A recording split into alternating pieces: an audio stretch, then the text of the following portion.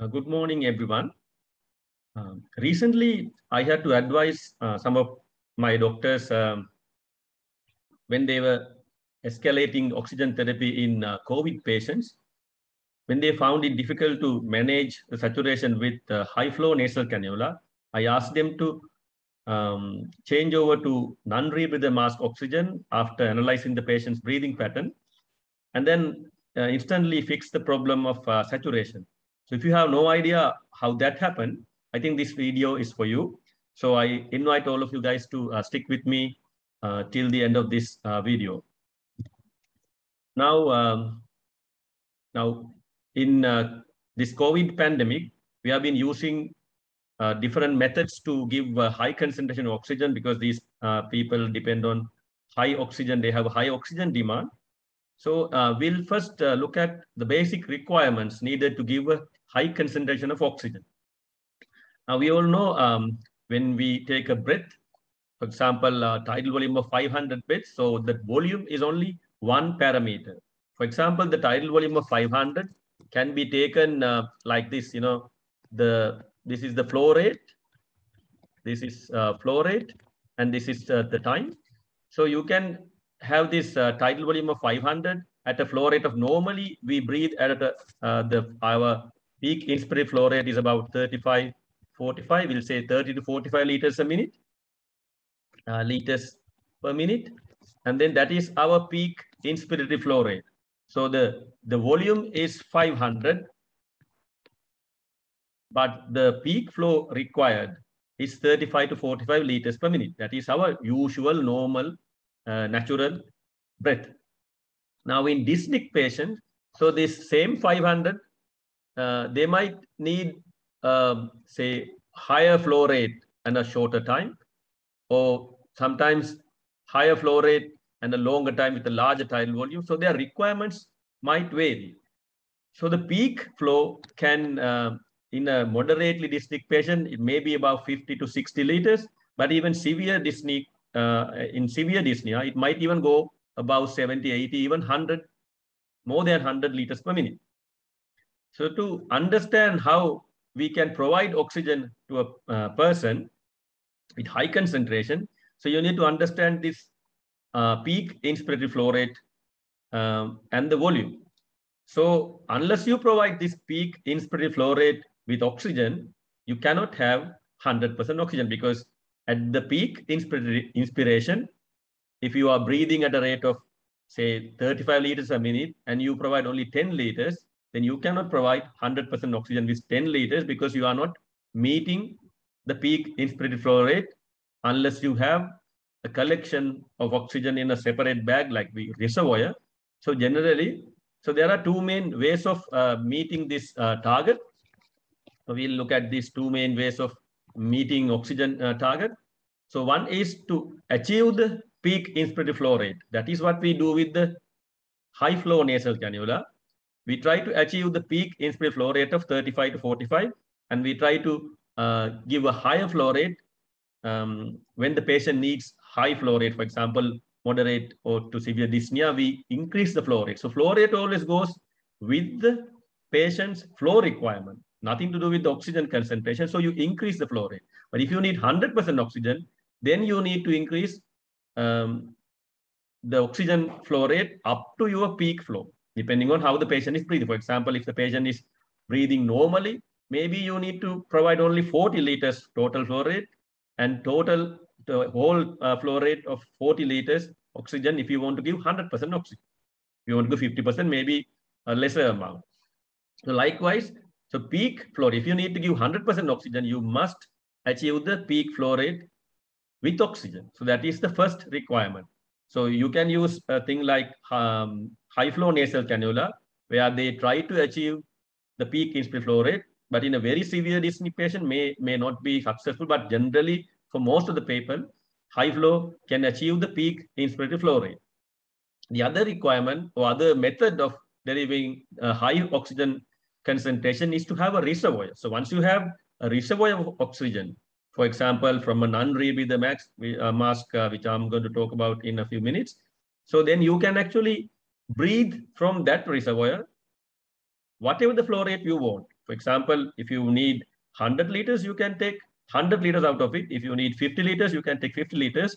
But the problem is uh, non-rebreather mask is not completely sealed most of the time. So you get bit of, you know, air mixing, but you can get a very high concentration of oxygen. But uh, so these are the two main ways of delivering high oxygen concentration. Either you have to match the peak inspired flow rate or you can provide the reservoir so that the patient can breathe from it. Um, now, now this is the nasal prong. So you cannot provide a very high flow rate through the nasal prong because it's it will dry the uh, uh, nasal mucosa. It's quite uncomfortable and the tubings are quite small. So practically you can't apply a high flow rate because uh, the, the pressure within the tube will go up because it's very thin tubing. What happens in the nasal prong? Generally, you provide about less than four liters, one, two, three, four liters of oxygen. So how can we provide oxygen with this couple of liters of oxygen uh, flow rate? Now, I told you, you have to either have a reservoir. Here, you can't see a reservoir, obviously. And then um, the flow rate is not compatible with the peak flow rate, which is only about uh, normally 35 to 45. Now this uh, nasal prong is about a couple of liters. Now what happens in nasal prong is once you apply nasal prong, so it actually um, push gases into the nasal cavity. Um, when you are not breathing, like, you know, breathe out and then you wait the next, next fraction of a second or a second, you get oxygen uh, getting into the um, nasal cavity so that it, it fills the cavity. So the next breath, you have, you're actually taking this, this is actually functioning as a reservoir, small reservoir, which is not a very uh, large one, maybe I'll say 50 ml. I don't know the exact volume. It will differ from person to person, but generally so that out of your 500 ml, you have 50 ml of enriched air, oxygen enriched air. So that is how your oxygen saturation or the uh, uh, uh, oxygen concentration increases. So nasal prong is a simple device where you can apply uh, oxygen, but it all depends on your nasal cavity. If your nasal cavity is stuffed, there's no point applying a nasal prong. So uh, basically, there are various ways of calculating. Generally, one liter, you get 24%. Uh, so FiO2 is fraction. So if it is 24%, it's 0.24. Now, so likewise, you can get every liter 24, 28, 32, 36, like every uh, liter, you get four added to the uh, FiO2. So now uh, you can see uh, you cannot increase more than four because it's quite uncomfortable and the pressures uh, will rise within the tubing and it won't be practical to increase the flow. So uh, nasal prong is used when you need less than 40% oxygen and it's much comfortable for the patient because it, there is no big, you know, claustrophobic um, face mask and it's a simple device and you need only a very low flow of oxygen. Now, face mask, on the other hand, or what we call Hudson mask, has got a slightly larger reservoir so that you can actually have a, a larger part or portion of the tidal volume filled with oxygen or oxygen enriched. But it's variable performance because it, it varies, the FiO2 delivered varies with the uh, input flow. If you are providing, say, six liters, versus uh, 10 liters. So you get a different FiO2.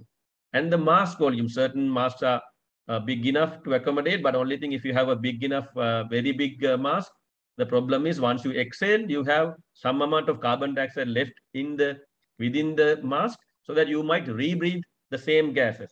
So you have to have some kind of a minimum flow rate of four to five liters for you to flush the carbon dioxide uh, in the mask.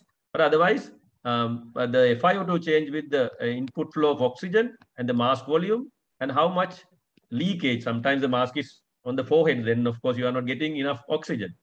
And the patient's breathing pattern. If the patient is breathing very fast, like you know, very deep and generating very high flow rates, your oxygen concentration drops. And if they are breathing normally, your oxygen concentration increases. So that is how the COPD patients, once, once you put them on uh, Hudson mask, when they are dyspneic, they are getting low FiO2. Sorry, yeah, low FiO2. Once they settle down, they might actually go into a um, coma stage because once they slow down, they get higher FiO2 and you lose the hypoxic drive. So that is, those are the kind of basic theories. Uh, so I'm going to, not going into details about these things. So I'll focus basically on uh, high concentration, how to provide high concentration oxygen. So face mask, how much FiO2 or how much what concentration can we provide. So generally, it depends on the flow rate you uh, uh, provide, and there are other uh, courses I told you. But these are all rough guides. So if you provide about five to six liters, generally about 40% uh, oxygen. So these are rough guides. As I told you, if the mask is somewhere else and if the size of the mask, the way the patient breathes. So this is a variable uh, performance device, but you get about 40% oxygen with about six liters. And you can get about 60%, about uh, 10 liters.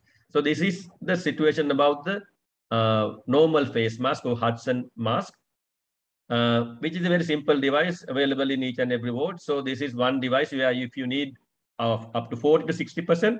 So that's the option. So less than 40% nasal prongs, 40 to 60%, you can use this um, uh, Hudson mask or normal face mask. But remember, this is a variable performance device.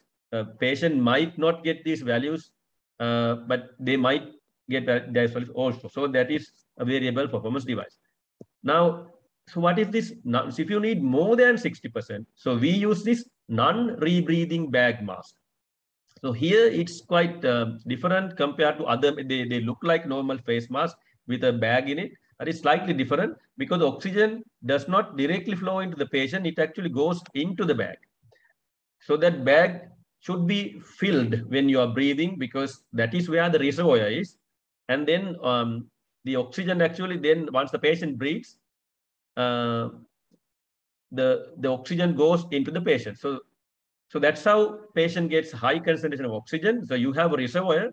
If the mask is fairly fitted, uh, then you can get high concentration, generally about about 70%, 70%, 80%, 90%. So if you can put a, I wouldn't recommend you doing this, but if you put a, say, uh, some kind of a tape around the mask, you can get 100% oxygen, but I wouldn't recommend uh, doing that because you, you have certain holes over here for the exhalation, and there is a flap valve uh, uh, it's a transparent most of the time valve um, to prevent the patient getting uh, room air entrainment. So when the patient breathes, so this valve closes so that patient can only take gases from the uh, reservoir bag so that you can get a very high concentration of oxygen. So this is a very good device to get high concentration of oxygen. So the advantage over here is you don't need to have a very high flow rate like you know, 30, 40, 50 liters of oxygen. You can get some 10 to 15 liters per minute to fill the bag. Once the bag is filled, it doesn't matter whether you are giving 14 liters, 15 liters, because generally, I mean, it can matter very slight but generally it doesn't matter. Sometimes I have seen in certain people teach that uh, when you give 10 liters, this is the concentration. Now, no, you can, you should be able to understand once the bag is filled, you're breathing from the bag, it doesn't generally affect with the amount of oxygen added. If the bag is filled, you can just be happy with it and some slightly it can increase because the additional oxygen might get into the patient, but it's not going to change a lot. So what you need is to have a filled bag so that when the patient breathes, so patient can generate, uh, the, the, the achieve the peak the inspiratory flow demand. So that if they are breathing at a rate of 40, no problem. You can get 40 liter per minute. If they are breathing at a rate of 100, no issue. You can get 100 liters per minute because it's a reservoir. So it depends on how you breathe and what kind of a seal around the uh, face mask or the non-rebreather mask. So that is the non-rebreather mask. Uh, the advantage is it's cheap, very cheap, and you can get high concentration, but you might not get 100% because it's there is some kind of leakage around the mask. Uh, although you are supposed to keep the mask fairly okay, but still there can be a, a leak. Uh, I mean, it's not 100% um, perfect seal but it, it's a very good uh, way of getting high concentration of oxygen. now, high flow nasal cannula is a different device and people are sometimes intimidated by these devices, but it, it's basically what it tries to provide is tries to provide the peak inspiratory flow rate with whatever the oxygen concentration you want. So what they do is they blend uh, oxygen and uh, air and apply to the patient's uh, uh nasal cavities because it's so drying so they have a humidifier attached so that whatever the gases and their tubings are slightly larger compared to a, uh, not slightly, I mean, compare, um, considerably larger, uh, wider in diameter compared to nasal cannula, because you have to provide higher uh, flow rate without increasing uh, very high back pressures. So you provide high flow rate of oxygen through the uh, nasal cavities so that you flush all the nasal cavity pharynx and you reduce the dead space in a certain way.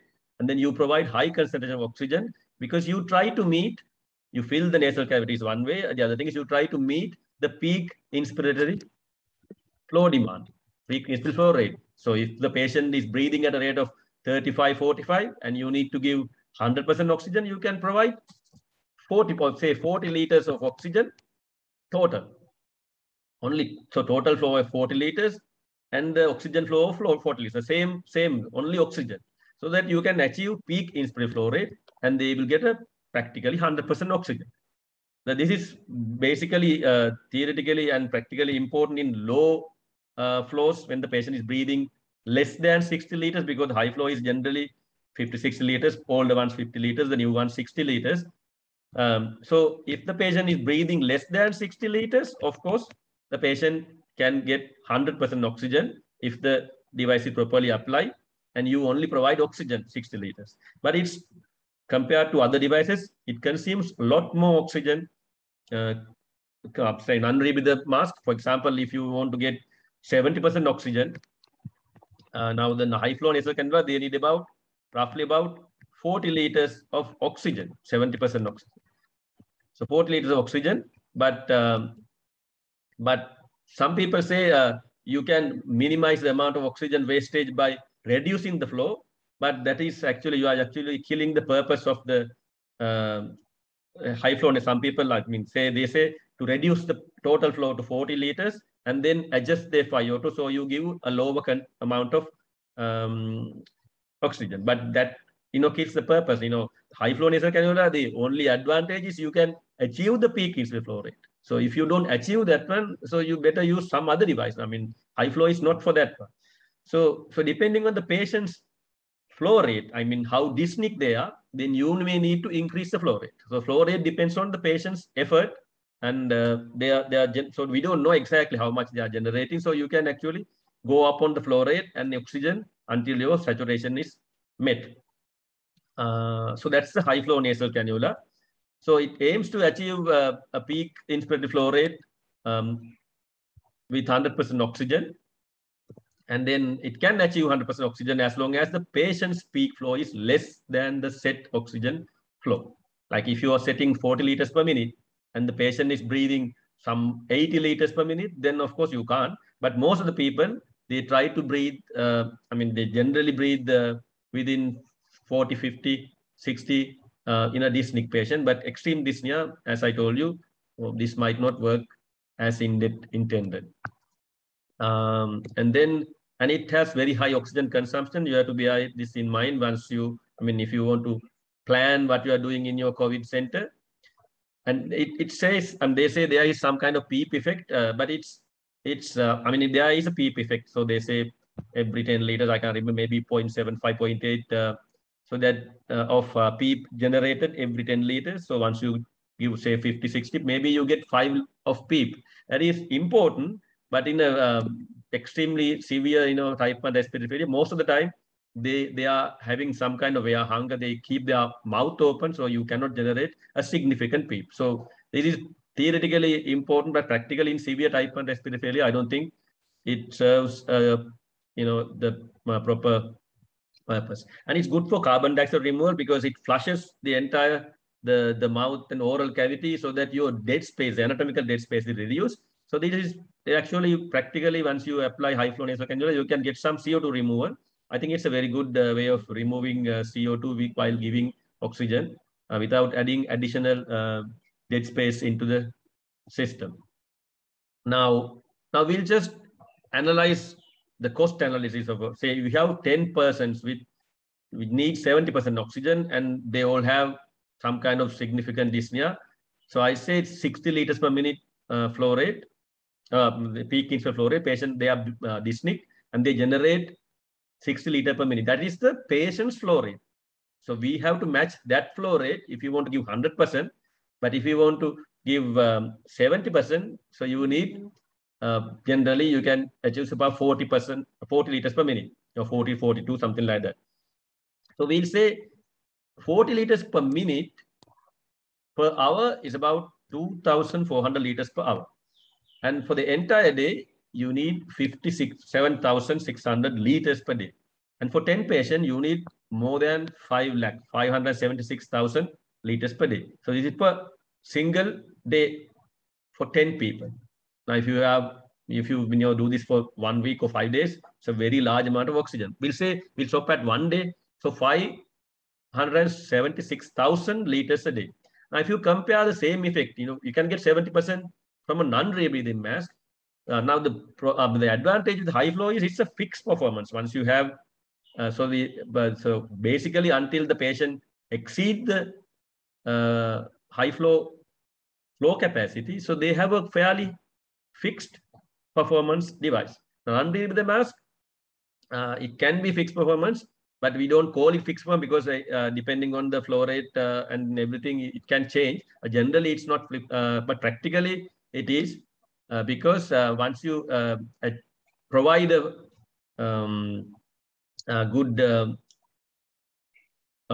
filled bag, then you can actually get a high concentration. I can't say it's fixed performance, but it's you can get high concentration. So what you need in COVID is not a fixed performance. You need high concentration of oxygen because they, they need more and more oxygen.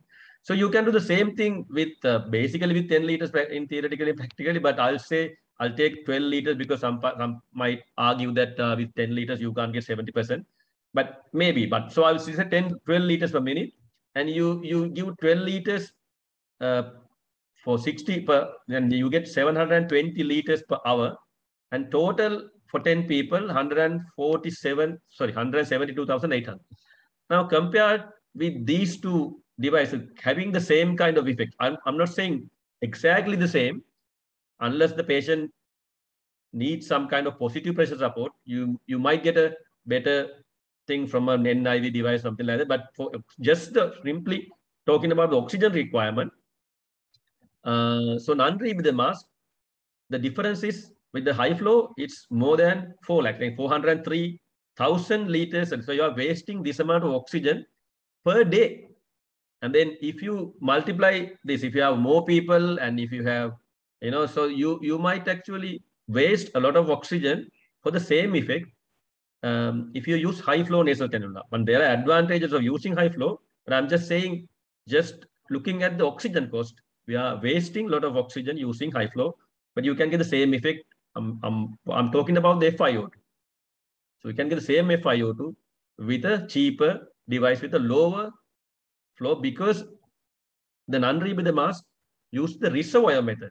That is the most effective method. Now, achieving the peak flow. So while you are breathing in, you give 42 liters, 40 liters. While you breathe out, you waste 42 liters. And your eh, inspiration to expiration is about one to two ratio. So two thirds of the time, you are wasting 40 liters. That is what you are doing. But here, two-thirds of the time, you are wasting 10 liters. So it's um, so you, you should understand the, the logic behind high flow and the non-rebreather mask. Uh, but it's it's important. I mean, you it's not a bad device, high flow nasal cannula. It's just a tool, you know. It's it's just a tool to provide 100% oxygen in a non-invasive manner. So it has its own uses and indications. Like you know, um, where you don't need a uh, high flow nasal cannula, you don't need a lot of expertise. Like uh, if you take non-invasive, you need to have some kind of experience. And you need to set up the you know mask properly on the patient and there can be malposition. But here with the high flow nasal cannula, you can avoid all these problems. You know, you just attach it. Uh, and most of the time um, it will do the job. And it can actually provide 100% oxygen in a non-invasive manner. As long as the patient is not generating a flow rate more than the high flow nasal cannula device can generate and you are giving that amount of oxygen. And then uh, it's quite effective in providing high concentration oxygen in a fixed performance manner, even with the, the PIFR is moderate to high, but in severe dyspnea, uh, so that is the issue. If, if you have uh, um, very high uh, oxygen, the patient is asking for very high flow rate, then high flow might fail in that instance. So the thing is, it's, the issues are it, it, uh, it, it has very high oxygen consumption. So may not be the most ideal device when the oxygen is in high demand. So you probably have to stick to another device and it cannot perform as intended intended uh, when the patient is generating very high. For example, some people actually generate about 80 liters of total flow. So when you give 60 liters, then you can't give 100%. So when they generate more than 100 liters flow rate, then you cannot achieve a good performance with the high flow nasal cannula. So you have to look at the patient. If the patient is generating very high flow rate, I'm not saying uh, just to be happy with some other method, but I'm saying, saying you have to look at the patient. You have to sort out why the patient is generating high, such a high flow rate. Are they generating high, high tidal volume? So that's just providing oxygen will not, uh, you know, help the patient. But if you just concentrate on oxygen provision, then uh, high flow, um, there are better device. I mean, not the better device. You can actually try the um, non-rebreathing mask device in this instance. Uh, now, Venturi mask is a totally different device where the Venturi mask, what happens, we actually use this Venturi mask when you need a fixed performance of oxygen um, supply, I mean, delivery to the patient. For example, uh, what we actually do here is if we use the Venturi principle, where a gas is passed through a, a narrow, narrowed, sorry, um, narrow, sudden narrowing, so that when the gas, so it, it accelerates, and then there is a pressure drop, and you get entrainment of air. So here you have a narrow opening, and then the gas entrance or the room air entrance, diluting the amount of oxygen we are giving. So depending on the size of the hole and the flow rate, you can get certain entrainment ratios. If you don't understand that, term, I'll just say, so if you need 24% oxygen, so you have a certain size of the hole and you apply three liters of oxygen so that it entrains 1 to 25 and you get a total flow. Although you apply a four, 3 liter oxygen, you get a total flow of 24% 79 liters per minute. So that you can, the, you, it covers your peak inspiratory flow rate, flow demand, so that you get a fixed performance, even though the patient is breathing 30 liters, 40 liters, up to 80 liters. So you get 24% oxygen. So that is called fixed performance device. So Venturi mask is not a device where you need um, more oxygen. So this is not the device. You can apply, for example, you can, uh, you have 60% Venturi devices, but you need a higher flow rate of oxygen to achieve that one. So it's okay to use 60% uh, Venturi mask when you need 60%, but you have to make sure that you need a fixed performance. If you need more oxygen, with 15 liters, you can get more than 60% if you use non-rebreather mask. So Venturi mask, so you can, there's one way of, you know, you can actually lose some of the oxygen, you can waste some of the oxygen because you can get higher effect with 50 liters uh, oxygen with a non-rebreather mask. So, so when it actually, when you increase the FiO2, so you can see the entrainment ratio is less and you need to provide higher oxygen and uh, you don't get the total flow rate uh, as, so it might not be as a fixed performance, as fixed as a normal, uh, I mean, we, we expect it to be. So Venturi mask is a fixed performance device, especially at lower oxygen concentrations and then with when you go higher and higher it doesn't that is why you don't have anything above 60% because you can't generate that uh, flow rate with the normal mask and it's not that effective. Uh, so that is why we have uh, venturi like that. And then um, okay. So how should you decide what device to use? And depends on uh, what your aim is. You know if you just need to um, increase the oxygen concentration, then you can keep on, you have certain devices just for oxygen concentration. And if you need oxygen and you need to prevent atelectasis, you need to improve the functional reservoir capacity, you might need a say something which can provide some pressure to the lung. So I'm not going to details about those things, but that so you it depends on what your aim is. There are so many other reasons uh, to decide. And the, one of the important thing is to look at the patient's peak flow. You can't, you can measure actually, but you don't have to measure. We can look at the patient's um, breathing pattern. If they are breathing, we can get a deep, fast breathing, they generate very high peak flow. So can we meet that peak flow with our device? So that is one thing you have to think of. Um, and then look at the patient breathing pattern, as I told you, look at the peak flow. And then uh, what concentration of oxygen do you want to give? So you might if you need very low concentration, you can just try a um, nasal cannula or low uh, concentration of uh, Venturi device. Uh, if you need high concentration, then you can go for devices which can provide high concentration.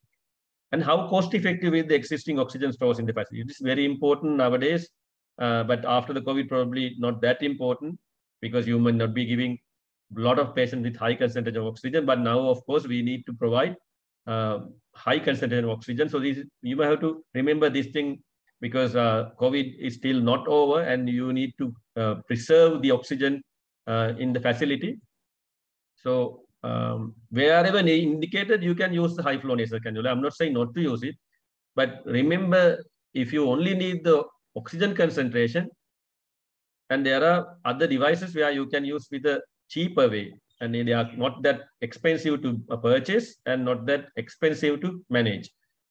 Now, the location and expertise and experience is important. Uh, now, if you are in a facility where you have NIV devices and you know how to use, then you can get you can decide that might uh, affect your decision making. And intubation, of course, uh, depending on the location and expertise, you might get different uh, outcomes after intubation. So I'm not talking about guideline here. I'm just talking about um, how to decide what device to use to provide oxygen.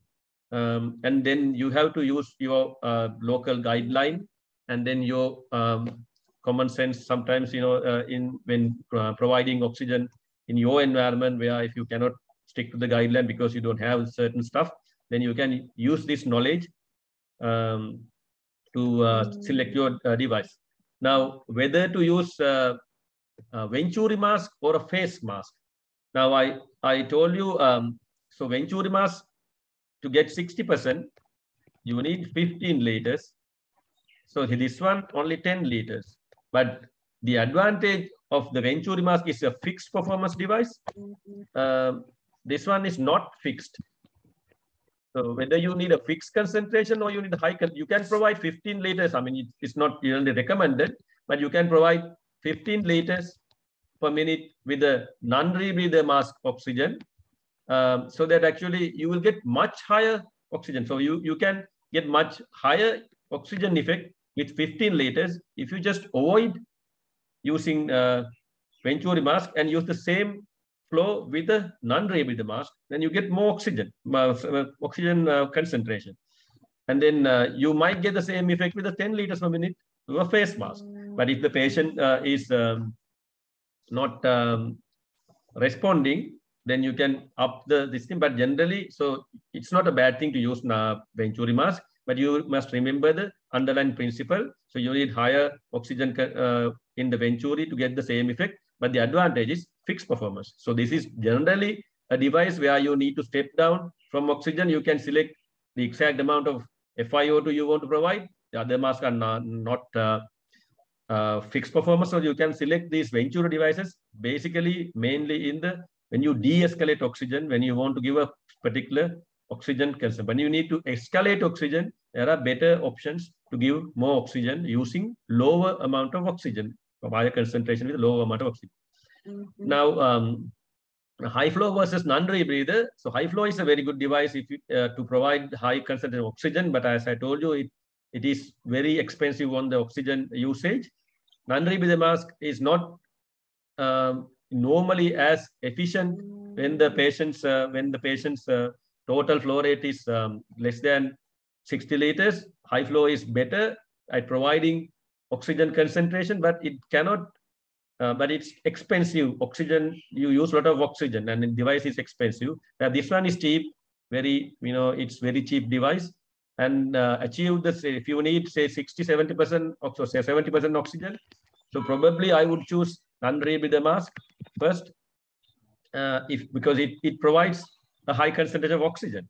So you can get the job done with uh, but if you need to wash out carbon dioxide and you need to get some uh, positive pressure effect you can actually use the uh, uh this thing as long as the patient keeps their mouth shut uh, and it's working like that and you have enough oxygen so it's not a bad device it's a good tool but the only thing it's it uses a lot of oxygen and it's expensive to purchase and expensive to manage with regard to oxygen cost and then uh, now the problem is if the patient is generating a hundred liters of flow demand. Now, this non, non sorry, high flow device can provide only up to 60 liters of oxygen. So 40 liters the patient has to take from outside so that uh, you might not get the expected result. Whereas if you use the non-rebreather mask, so for 100 liters, you can try to actually, because it's a collected, you know, reservoir bag. So you might get, if you have a, a good uh, seal, I mean, sufficient enough seal, you can achieve a better oxygen concentration compared to high flow in a very dyspneic patient. So it's not, it's not always, you know, um, working like that because sometimes if the patient is having a bad lung, so you even the both these things will not work properly. But just just uh, thinking of the um, oxygen concentration. So the non-rebreather mask is uh, is slightly uh, better at very high patient's flow rate because the high flow can provide only up to six liters. But anything less than 60 liters, patient is generating anything less than 60 liters. High flow is a very effective device um, at giving 100% oxygen, where this may not uh, give 100% oxygen, but at very high patient flow rate, this may be an option. So you try that one mm -hmm. before you escalate to anything else. If you don't have NIV facilities, I would recommend uh, some other thing. But if you don't have NIV intubation facilities and how to manage things like that, so this may be an option. So this is not a guideline I'm talking about. I'm talking about some kind of options you can use to uh, provide uh, using the non-rebreather uh, mask.